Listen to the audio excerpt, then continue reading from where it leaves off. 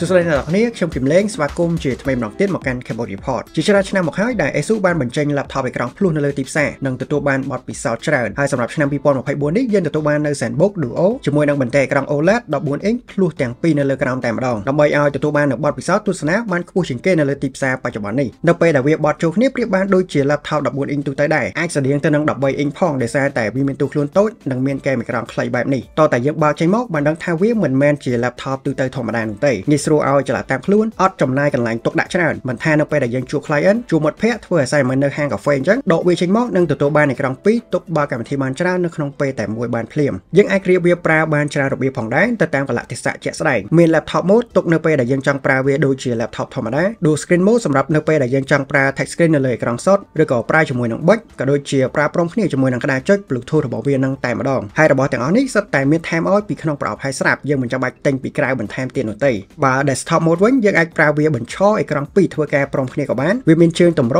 ជាប់នឹងបាតរបស់វាផ្ទាល់អាចបត់បានមុំ40ទៅ70ដឺក្រេឬក៏ពេលណាដែលយើងចង់ចែករំលែកអេក្រង់ទៅអ្នកនៅជិតខ្លួនយើងអាចបត់អេក្រង់ឲ្យដាក់រៀបស្មើនៅលើតុនឹងតែម្ដងក៏បាន ដោយទាំងអស់នេះស្ថិតនៅក្នុងទូខ្លួនមានកម្រាស់ចន្លោះពី1សង់ទីម៉ែត្រកន្លះដល់ជិត2សង់ទីម៉ែត្រទៅតាមពេលណាដែលយើងយកក្តារចុចរបស់វាតាមខ្លួនឬក៏អត់ទេនិងជាមួយទម្ងន់សរុបខ្ទង់1គីឡូកន្លះបូករួមទាំងក្តារចុចរបស់វាផងដែរអត់សូវជាក្រាស់ឬក៏ធ្ងន់ប្រមាណនោះទេបើយើងគិតថាយើងអាចយកអេក្រង់2តាមខ្លួនបានបែបនេះហើយ ASUS ក៏មានផ្ដល់ជូនឲ្យកាបូបសម្រាប់ការពារនិងទុកដាក់តាមខ្លួនដូចគ្នា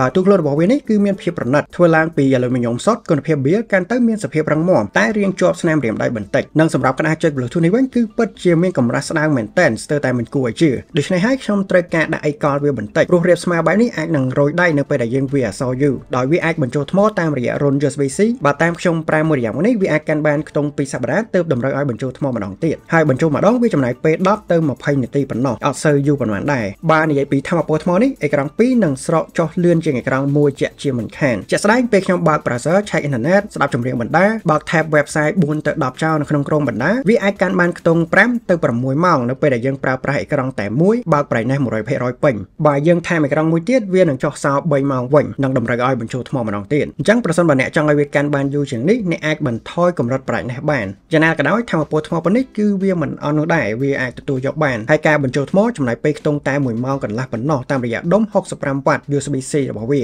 ដោយនៅលើនេះផងដែរក៏មានប្រើប្រាស់នៅ CPU AI ចំនួនក្រោយពី Intel មានជំនួយទៅលើការសន្សំធម្មពលនិងមិនសូវឲ្យឡើងក្តៅជាស៊េរី Core Ultra 9លេខ 185X មានផ្ទុក16 Core និងមាន chip Intel AI Boost NPU ជំនួយទៅដល់កិច្ចការងារ AI នានាបានផងដែរដូចខ្ញុំបានបង្ហាញរួចមកហើយនៅលើវីដេអូ ZenBook S13 OLED បង្ហោះការពីពេលថ្មីៗនេះចឹងជំនួយដល់មុខងារ AI នានាដូចជាកាត់បន្ថយសំឡេងរំខានពី microphone ជួយកាត់ផ្ទៃព្រា background នៅពេល video call ឲ្យមើលឃើញស្អាតហើយ professional ជាងមុនក៏ដូចជាជំនួយទៅដល់មុខងារ AI ផ្សេងៗទៀតនៅក្នុងនេះយើងក៏ទទួលបាននៅ RAM ដល់ទៅ 32GB លើសពីគ្រប់គ្រាន់សម្រាប់ការងារ multitasking បើកម្មវិធីបានច្រើននៅក្នុងពេលតែមួយវាជា RAM ប្រភេទ Dropboard យើងអាចអាចដំឡើងបន្ថែមទៀតបាននោះទេបើទៅលើទំហំផ្ទុកវិញវាមានទំហំ 1TB ប្រភេទ PCIe Gen 4ក្រៅពីអាចប្រើប្រាស់កម្មវិធី browser កម្មវិធីការងារ Office បានយ៉ាងងាយហើយយើងក៏អាចយកវាយកមកកាត់ Photoshop ទូទៅបាននិងអាចយកមកលេងហ្គេមស្រាលៗនៅក្នុង graphic setting ទៀតនៅពេលទំនេរពីការងារក៏បានគួរជម្រាបផងថា Asus ZenBook Duo ស្រីឆ្នាំ2024នេះមានតម្លៃដាក់លក់ខ្ទង់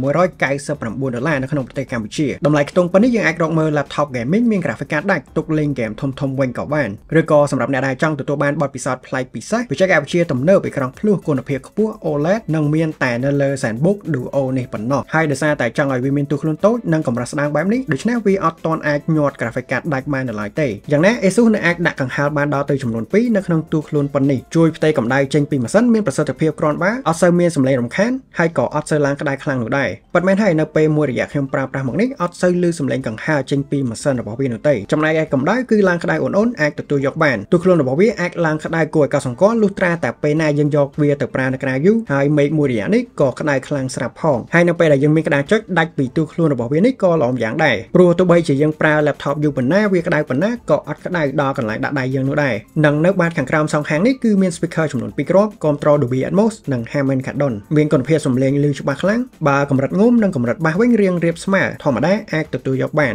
អ្វីដែលអស្ចារ្យនោះគឺបន្ទះអេក្រង់ OLED 3K 14អ៊ីងចំនួន2នេះពិតជាចំណុចលេចធ្លោបំផុតមួយរបស់ ZenBook Duo នេះហើយដោយសារតែវាមានហ្គេមខ្លីល្មមអញ្ចឹងទូខ្លួនវាក៏រាងតូចប្រហែលទៅនឹង laptop 13អ៊ីងដូចគ្នាដោយបន្ទះអេក្រង់នេះគឺវាអាចបង្ហាញទឹកពណ៌ដិតស្រស់ភ្លឺថ្លាមានស្រទាប់ការពារភ្នែកហើយវាប្រើប្រាស់នៅកញ្ចក់ Corning Gorilla Glass ការពារពីស្នាមឆ្កូតនៅពេល touch screen និងនៅពេលដែលយើងប្រើប៊ិចគូសផងដែរដោយវាមានកម្រិតពន្លឺ400 nit មាន sensor auto brightness ភ្លឺគ្រប់គ្រាន់នៅពេលប្រើប្រាស់នៅខាងក្រៅនិងអាចឡើងខ្ពស់ដល់500 nit peak brightness នៅពេលដែលយើងមើលវីដេអូ HDR កាន់តែពិសេសបន្ទះអេក្រង់ទាំងអស់នេះក៏មានកម្រិត refresh rate 120Hz ថែមទៀតផងដូច្នេះការអូសបញ្ជានៅលើនេះគឺមានសភាពរត់តែរលូនជាងអេក្រង់ 60Hz ទូទៅធម្មតាដូចជានៅពេលដែលយើងឆ្លាស់កម្មវិធីពីអេក្រង់មួយទៅអេក្រង់មួយទៀតជាដើមហើយដូចជា laptop អេក្រង់ភ្លោះរបស់ ASUS ពីមុនអញ្ចឹង ASUS ក៏មានបន្ថែមមុខងារជំនួយទៅលើនឹងច្រើនគួរសមវាមាន tool shortcut សម្រាប់ឲ្យយើងចាប់ដាក់កម្មវិធីទៅជ្រុងណាមួយនៃអេក្រង់បានយ៉ាងងាយស្រួលក៏ដូចជាមានបញ្ចូលមុខងារ gesture មួយចំនួនដូចជាប្រើម្រាមដៃ6ដើម្បីបើកចេញក្តារចុចនៅលើអេក្រង់ហើយអាចទាញចុះក្រោមដើម្បីបើកចេញជា tool នានាបានផ្សេងៗទៀតមុខងារទាំងអស់នេះគឺសម្រាប់នៅពេលដែលយើងចង់ប្រើ touch screenshot តែម្ដងដូច្នេះយើងមិនចាំបាច់យកក្តារចុច Bluetooth របស់វាតាមខ្លួនរហូតក៏បានចុះប្រសិនបើបន្ទះក្រង់ពីរអញ្ចឹងវាមានអត្ថប្រយោជន៍ខ្លាំងអ្នកអាចឆ្ងល់ហើយថាហេតុអ្វីបានជាអត់តន់សូវមានអ្នកប្រើច្រើនត្រង់ហ្នឹងវាអាចមកពីអត់តន់មានអ្នកស្គាល់សមត្ថភាពវាច្បាស់អត់តន់ធ្លាប់បានសាកល្បងប្រើប្រាស់ពីមុនឬក៏ដោយសារតែតម្លៃក៏ថាបាន តាមពិតទៅតម្លៃនេះក៏រៀងសមល្មមមួយដែរព្រោះយើងទទួលបាននៅអេក្រង់ OLED ល្អដល់ទៅ2និងមានម៉ាស៊ីនចំនួនខ្ពស់ថែមទៀតផងវានេះត្រូវបានផលិតឡើងសម្រាប់អ្នកដែលចូលចិត្តបើកកម្មវិធីច្រើននៅក្នុងពេលតែមួយចង់មាន skill ខាង multitasking ខ្ពស់ដូច្នេះអ្នកបានដឹងហើយថាវានេះអាចជួយសម្រួលដល់ការងារបានច្រើនដោយវាអត់ចាំបាច់ត្រូវការកន្លែងច្រើនហើយក៏ងាយយកតាមខ្លួនដូចជា laptop ទូទៅធម្មតាតែម្ដងប្រសិនបើអ្នកកំពុងតែស្វែងរកបទពិសោធន៍ថ្មីប្លែកអញ្ចឹងអ្នកអាចពិចារណាទៅលើ model មួយនេះបានកំពុងតែមានលក់នៅតាមបណ្ដាហាងកុំព្យូទ័រក្នុងស្រុកនានាដែលជាតំណាងចែកចាយរបស់ ASUS ទាំងអស់ហើយខ្ញុំគឹមលេងក៏អរគុណអ្នកទាំងគ្នាសម្រាប់ការតាមដានពីដើមរហូតមកដល់ចប់ខ្ញុំនឹងនិយាយទៅកាន់អ្នកទាំងគ្នានៅក្នុងវីដេអូក្រោយៗទៀត